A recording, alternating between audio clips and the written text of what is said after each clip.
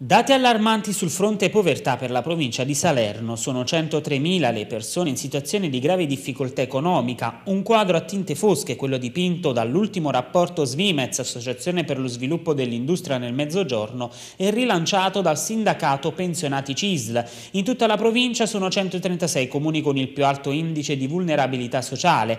Ad avere la peggio, secondo il sindacato, è sempre chi vive con la pensione dell'Inps. In troppi, in particolare donne, sono costretti a vivere vivere con pensioni insufficienti a soddisfare le più elementari esigenze di vita come alimentazione, salute, abitazione e abbigliamento.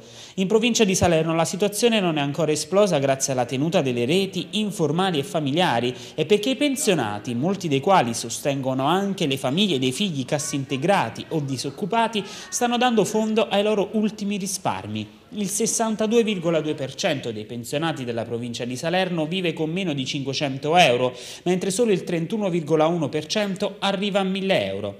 Ci sono anziani che non riescono a curarsi per gravi patologie tumorali o addirittura fare la spesa per poter mangiare ed arrivare a fine mese.